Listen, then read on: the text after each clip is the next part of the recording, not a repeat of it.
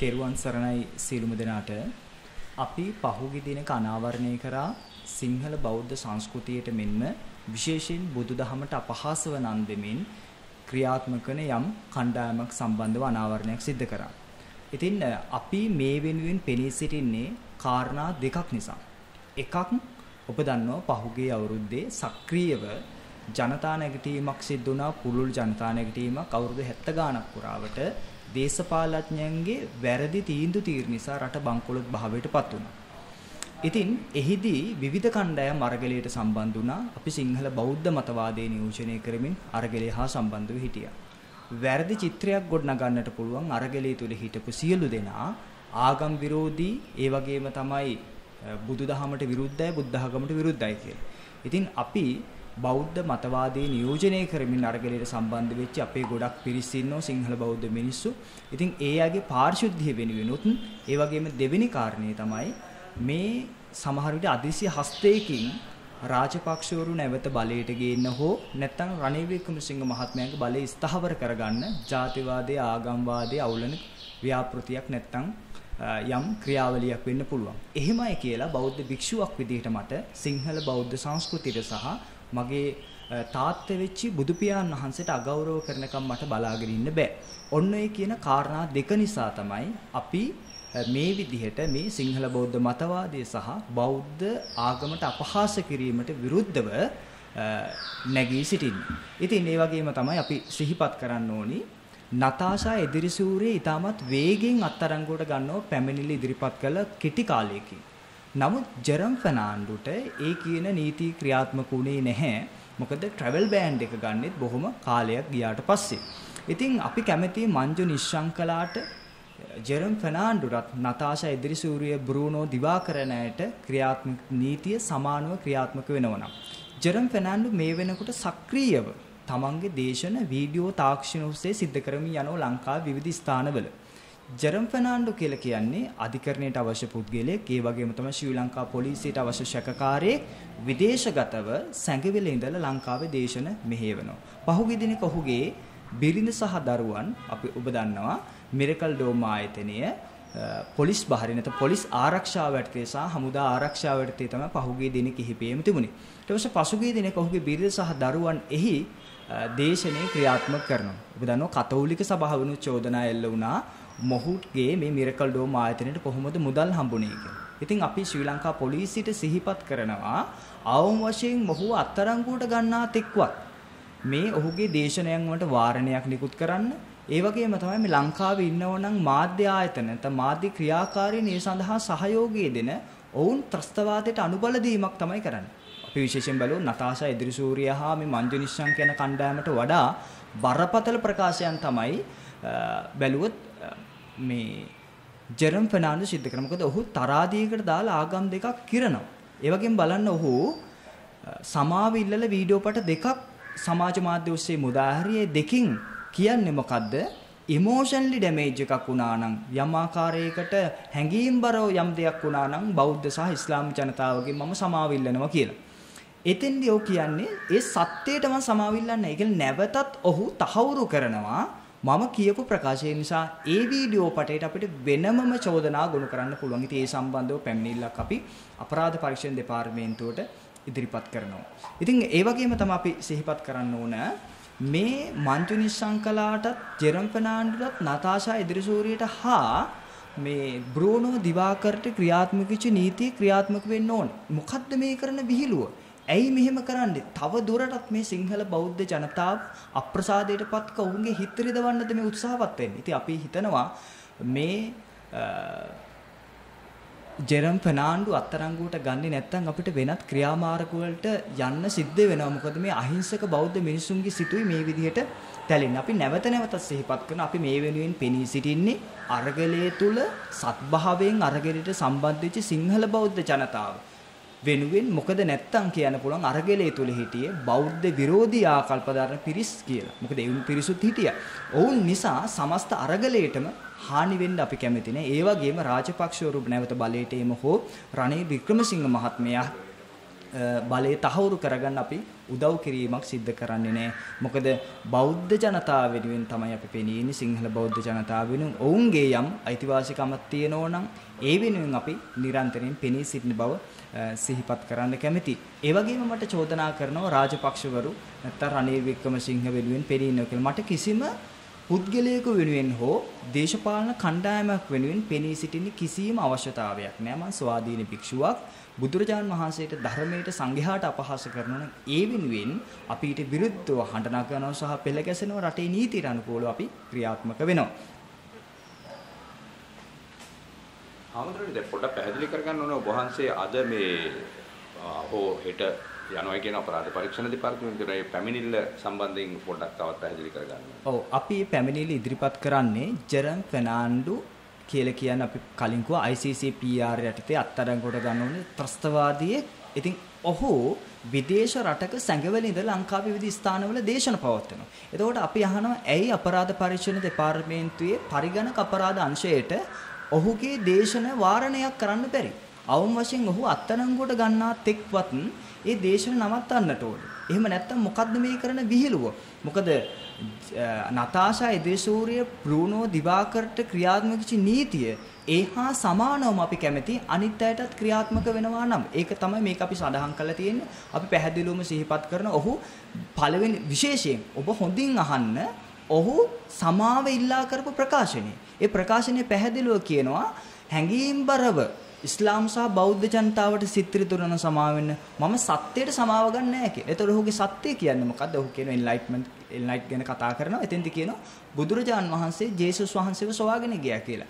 දාර්ශනික අදහසක් නෙවෙයි කියන්නේ ආගම් දෙකක් තරාදියකට දාලා කිරනවා. කිරලා ඒ ආගම් අතර ගැටීමක් ඔහු නිර්මාණය කරනවා සහ ඔහුගේ බිරිඳ සහ අපිට තේරෙනවා දැන් මේ ක්‍රමානුකූල ඔහුගේ බිරිඳ ඉස්සෙල්ලාම ඉන්න දරුවොත් එක්ක ඇවිල්ලා මිරකල් ඩෝම් එකේ ඒ දේශන කරගෙන යන ක්‍රමානුකූල ඔහුත් ලංකාවට වෙල මොකුත් නොවිච්ච ගාන්ට ඉන්න තමයි මේ උත්සාහවත් වෙන්නේ. ඉතින් ඊට එරෙහිව නීති ක්‍රියාත්මක වෙන්න ඕනේ. ඒ සම්බන්ධව තමයි අපි පැමිණිල්ල ගොනු කරන්නේ. අපි දකිනවා හමුදුරනේ දැන් මේ වගේ බය බෞද්ධ විරෝධී යම් කිසි දෙයක් වුණා හැම අවස්ථාවකදීම මහා සංඝරත්නය ගිහිල්ලා එක්ක පැමිණිල්ලක් කරනවා නැත්නම් සිවිල් සංවිධාන ගිහිල්ලා පැමිණිල්ලක් කරනවා.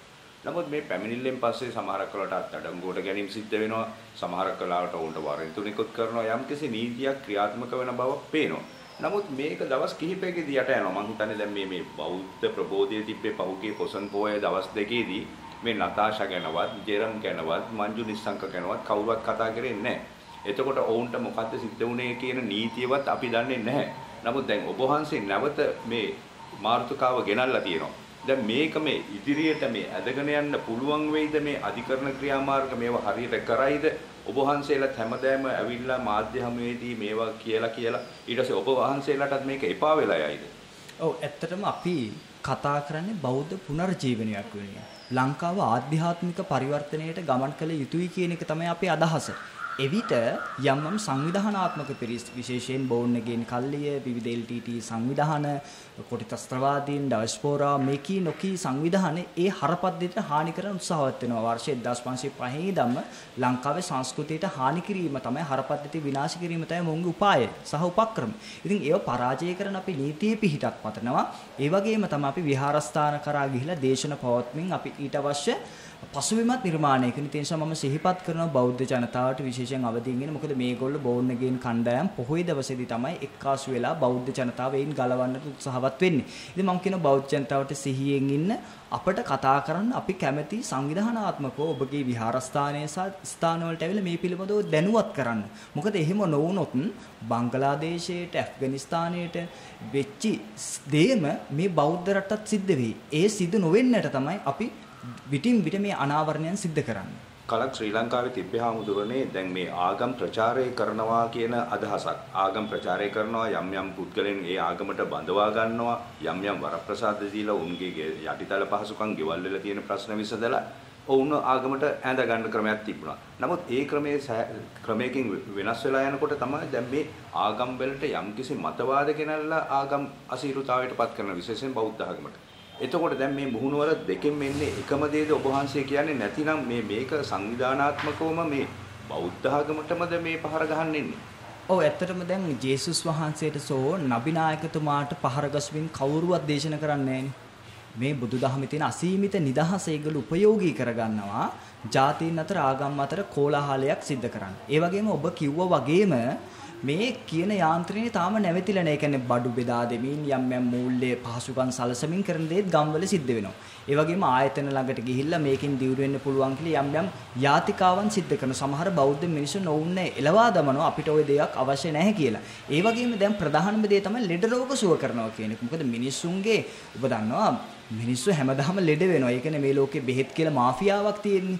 ඉතින් එතකොට මේ ලෙඩ සුවවීම කියන එකට මනසට පුංචි උත්තේජනයක් දීලා ඔබ සනීපුණා කියලා මිනිස්සු අතර මතවාදයක් ගොඩනගනවා ලෙඩ සනීප කරන්න පුළුවන්. ඒක තමයි නැවත කරලයට ඇවිල්ලා තියෙන මාතෘකාව. ඉතින් එහෙමනම් ওই කියන්නේ ජෙරම් ෆර්නාන්ඩෝ ඇතුළේ කණ්ඩායමට පුළුවන් අපේක්ෂා රෝහල තියෙන විවිධ රෝහල් තියෙන ඒ රෝහල් වලට ගිහලා සුව කරන්න. නමුත් ඔවුන් කවදාවත් එහෙම දෙයක් කරන්නේ මොකද මෙවුන් උපායශීලීව ඔවුන් සූදානම් කරපු රෝගීන් වගේ අය තමයි ගේන්නේ. ගෙනහැල්ලා ස්ටේජ් එක නංවලා ඔබ සනීපුණ ඇවිදගෙන යන්න කියලා කියන ඉතින් මේ බොරුව තව කොච්චර කාලයක් ක්‍රියාත්මක කරන්න පුළුවන් වේද කියන එක අපි දන්නේ. අපි දන්නවා සත්‍ය මතුවෙනවා කියන කතාව.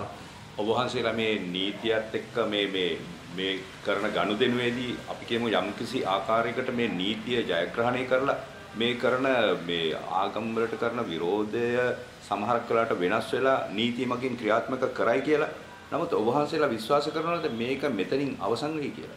අපි විශ්වාස කරන්නේ මේක මෙතනින් නවත්තී කියලා අපි බලාපොරොත්තු වෙනෝ නීතිය සාධාරණත්වය අපිට ඕන ಜಾති ආගම් ભેදයකින් තොරව සහජීවණයෙන් ජීවත් වෙන්න ඕනි රටක්. ඒ පිණිසයි නීති සකස් වෙන්න. මම කැමැති අධිකරණ අමාත්‍යවරයාට සිහිපත් කරන්න පුළුවන් නම් මේ අන්‍යාගමීකරණයට විරුද්ධව පනතක් ගේන්න.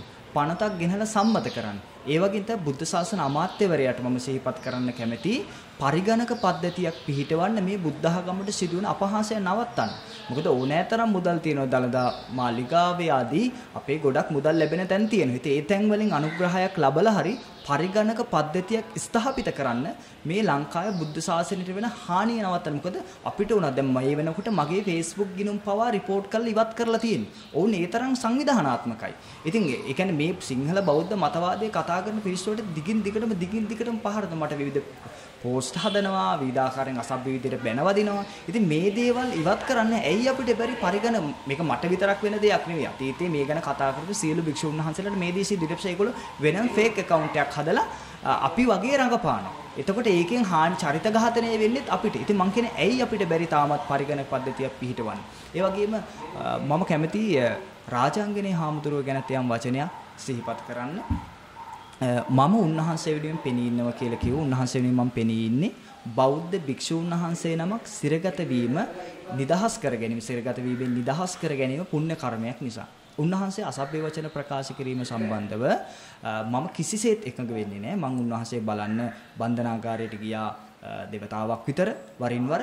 ඒ අවස්ථාවලදී මම උන්වහන්සේගෙන් ඇහැව්වා ඔබ වහන්සේ ඇයි මෙහෙම කියන්නේ? කියලා. ඒතකොට උන්වහන්සේ කියපු එක තමයි මේ පාලකයෝ සහ පූජකයෝ නිතරම මේ අපේ අහිංසක ජනතාව රිද්දනවා කුඩු වයිස් මද්ද්‍රව්‍ය හැමතැනම තියෙනවා. ඉතින් මේ දේවල් ගැන මම දැඩිව සොරෙන් කියන්නේ නැතුව මම කොහොමද ඇහුවා කියන්නේ. ඒතර මම හෝ ස්වාමීනි භික්ෂුන් වහන්සේ අහම් විදිහට අසභ්‍ය වචන ප්‍රකාශ කරන එක වැරදීන එක. ඒතර උන්වහන්සේගේ පිළිගත්තා. උන්වහන්සේ මම ඇහුවා ඔබ වහන්සේව අපි ඔබ වහන්සේ වෙනුවෙන් පෙනී ඉන්නේ අසභ්‍ය වචන ප්‍රකාශ කරන්නේ නැහැ කියන කොන්දේසි පිට උන්වහන්සේකට එකග වුණා. ඒ වගේම තමයි මහානායක හාමුදුරුවකින් සමාව ගන්නත් උන්වහන්සේ එකග වුණා. ඒ වගේම තමයි මම එහු උන්වහන්සේගේ මූල්‍ය චෝදනාවකුත් එල්ලනවා. උන්වහන්සේට එල්ල වෙන මූල්‍ය චෝදනාව ගැන උන්වහන්සේ මොකක්ද කියන්නේ කියලා. එතකොට උන්වහන්සේ කිව්වා මට කෝටි 6 7ක් account එකට හම්බුණා මම කිව්වේ කලිනුත් උන්වහන්සේ හිටපු විහාරස්ථානයෙන් දේශපාලනඥයින් විරුද්ධව කතා කිරීම නිසා උන්වහන්සේට ඉවත් වෙන්න සිද්ධ වුණා අලුතෙන් තැනක් හදාගන්න මම අන්තර්ජාලයේ දැම්මේ මට පැල්පතක් හදලා දෙන්න කියලා. නමුත් මිනිස්සු කෝටි ගාණක් වේදම් කළ උන්වහන්සේට සේනාසනයක් සකස් කරලා දෙනවා. උන්වහන්සේ ලක්ෂ 16ක් 17ක් තමයි එකපාරක් එකපාරකට වැටෙන්නේ. එතකොට ඒ ලක්ෂ 16 17 ඉවර වුණාම තමයි නැවත මුදල් යොමු කරලා තියෙන්නේ. එතකොට ඒ ස්ථානය ගන්න කෝටියකුත් ලක්ෂ 20කුත් වේදන් වුණාකෝ පුරවන්න ලක්ෂ 15ක් විතර වේදන් වුණාකෝ අඩි 32ක් උස සමාධි ප්‍රතිමාවක් තියෙනවකෝ දහම් පාසල් ගොඩනැගිල්ලක් හදලා තියෙනවකෝ රුපියල් 50000 ගානේ මොන්ටිසෝරියට දීලා තියෙනවකෝ තව රුපියල් 50000 ගානේ සේවය සේවය කරන පුද්ගලයාට දීලා තියෙනවකෝ දහම් පාසලේ 350කට ආහාර දුන්නා කියලා කිව්වා. ඉතින් මේ යනාදි වශයෙන් උන්වහන්සේ කිව්වා උන්වහන්සේ සිරින් නිදහස් වුණාට පස්සේ උන්වහන්සේගේ නිවැරදිභාවය ඔප්පු කරන්න මාධ්‍ය සාකච්ඡා සාකච්ඡාවක් තියලා එකී කරුණු අනාවරණය කරනවා කියලා මට ඒ සම්බන්ධ උන්වහන්සේ මාධ්‍ය ඉස්සරහා ප්‍රකාශ කරන්න කියලාත් ඔබ වහන්සේ බැහැ දකින්න ගියාද? මේ සංවාදය ඇති උනේ. ඔව් මං ගියා උන්වහන්සේ හම්බුණා සාකච්ඡා කරේ ඒතර තමයි උන්වහන්සේ මේ සියලු කාරණා අවධාරණය අවසාන වශයෙන් ඔබ වහන්සේගෙන් මම අහන ප්‍රශ්නයක්. දැන් ඔබ වහන්සේ දන්නවා දැන් පහුගිය කාලේ මේ ජෙරම් ආව කරටියට නතාෂාව මේ පුද්ගලික චරිත. එතකොට සේපාල කියලා පුද්ගලික මේ ඔක්කොම පුද්ගලික චරිත හැටියට තමයි මේ ආගම් වලට අපහාස කරලා තිබුණේ විශේෂයෙන් බුද්ධ ආගමට. නමුත් මේ ඔක්කොම පුද්ගලික එක චරිතයක්. නමුත් බෞද්ධ ජනතාව ලක්ෂ ගණන් කෝටි ගණන් Hindu කතෝලික ජනතාව කෝටි ගණන් ඉන්නවා. මේ ජනතාවගේ මතේ නොවෙන්න පුළුවන් සමහරක් වෙලාවට මේ එක පුද්ගලයෙක් කියන මතේ ඒ නිසා ඔබ වහන්සේලාට වැඩපිළිවෙලක් කරන්න පුළුවන්ද මේ ආගමික සංහිඳියාව ඇති කරලා ජනතාව ඒක රාශි කරලා මේ මතවාද පරාජය කරන්න. කතෝලික ජනතාවගෙන් කවුරු හරි බිහි වෙනවා නම් නෑ මේ මතවාදයට විරුද්ධයි. එතකොට බෞද්ධයෙක් හැටියට කවුරු හරි විරුද්ධ වෙනවා නම් බෞද්ධ අය වෙනත් අයට අපහාස කරනවා නම් ඒකට විරුද්ධ වෙන්න. මේ වගේ සංහිඳියාවක් ඇති වුණොත් මේ පුද්ගලික චරිත ඉවරයි නේද හමුදුරනේ ඔව් ඇත්තටම ඒක තමයි සිද්ධ වෙන්න ඕනේ. බෞද්ධ ආගමිකයෝ ඒ කියන්නේ ඉස්ලාම ආගමිකයෝ කතෝලික ආගමිකයෝ තමන්ගේ දර්ශන සහ සංවාද එලිමහනේ සිද්ධ කළ යුතුයි. යම් platform එකක් හැදෙනවා නම් මම මගේ පූර්ණ අනුග්‍රහය ඒ වෙනුවෙන් දෙන්න කැමති ඕපන් සංවාදයක්. ජෙරම් එක්ක වුණත් ඕපන් සංවාදයක් තියන්න පුළුවන් නම් මම හිතන්නේ එතනින් තමයි මතවාදී ක්‍රියාත් මේ නාශනය කරන්න පුළුවන්. නමුත් තියෙන ප්‍රශ්නේ ඔවුන් ඒවට එකඟ නැහැ. ඔවුන් නිකන් හැංගිලා වෙනම මේක කළ සෝෂල් මීඩියා වල උදාහරණයක තමයි කරන්නේ. මොකද ඔබට ඔබට මතක ඇති පානදුරාවාදයේ වගේ වාදයන් අතීතයේ සිද්ධ කරලා තියෙනවා. ඉතින් ඒතරේ පානදුරාවාදයෙන් පලා ගියපු මිනිස්සුන්ට ආයේ අමුතුවෙන් කරන්න දෙන්න පානදුරාවාදේ කියවන්න දෙන්න විතරයි ඕන.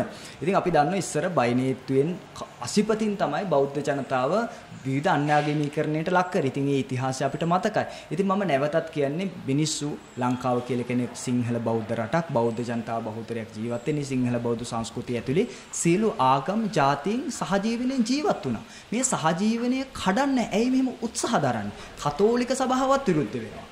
මහානායක හාමුදුරුවොත් විරුද්ධ වෙනවා. ඒ විරුද්ධ වෙද්දි වෙද්දි ඇතම් කණ්ඩායමක් මම දැක්ක අර පෙරටුගාමී සමාජවාදී පක්ෂය නියෝජනය කරන අය වසන්ත මුදලිගේලා ඒගොල්ලෝ මේ මතවාදී වෙනුවෙන් පෙනීනේ. ඒතර පැහැදිලිවම අපිට ඉරක් ගහලා වෙන් කරන්න පුළුවන් මේ රටේ ප්‍රශ්න හදන්නේ කවුද කියලා. විශේෂයෙන් සිහිපත් කරන්නේ බෞද්ධ භික්ෂුව ගැනත් කතා කරන බෞද්ධ භික්ෂුව පිරිහුණාගේ. ඒ පිරිහීමට ප්‍රධාන වශයෙන් වග කියන්න ඕනේ වාමාංශික දේශපාලන පක්ෂ කැම්පස් ඇතුලේ ක්‍රියාත්මක කරන ක්‍රියාවලිය. මොකද අපි පුංචි කාලේ ඉඳන් හාමුදුරු ටික බොහොම පරිස්සමෙන් ආදරෙන් හදලා පිරිවෙන් වසානි කරාට පස්සේ කැම්පස් එකට ගියාට පස්සේ අපිට විශේෂයෙන් භික්ෂුන් වහන්සේ ලිහිපත් කරනවා අනේ ආශ්‍රිතනේ බලන්නකෝ මාස දෙක තුනක් ගියාට පස්සේ පොඩි හාමුදුරුව අපිට තිබිච්ච ගෞරවය සම්පූර්ණයෙන්ම නැති වෙනවා. මාක් සරණ යනවා.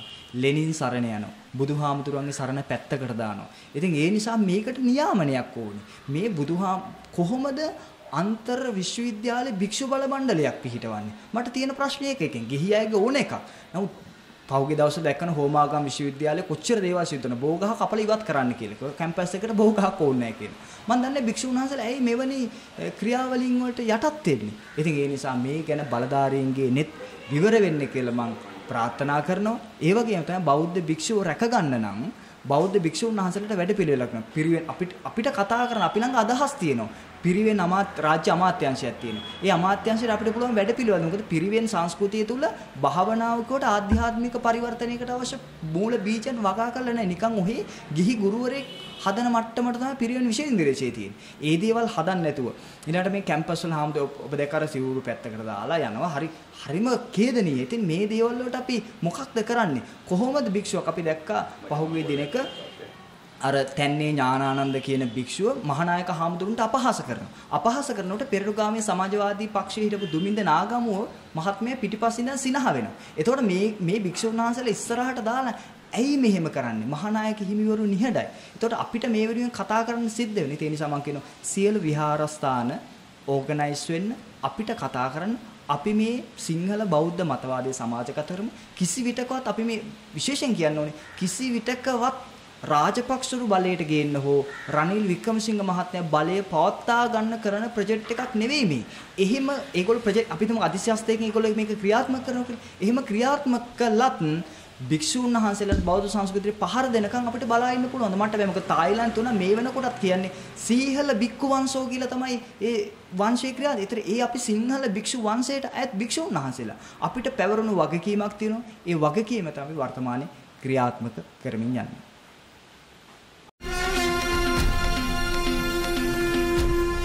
ලක් දෙරන පුවතකට එහාගේ රට ගැන කැක්කුමක්